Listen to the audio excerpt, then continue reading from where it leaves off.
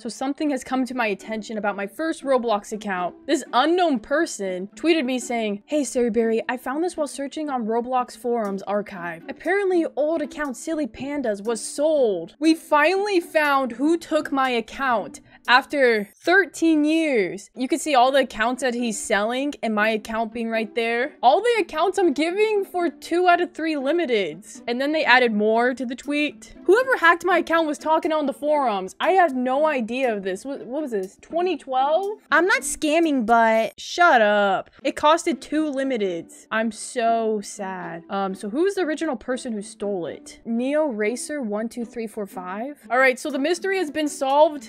We know who took my account. I just got more closure for myself, which is what I needed. I needed that closure.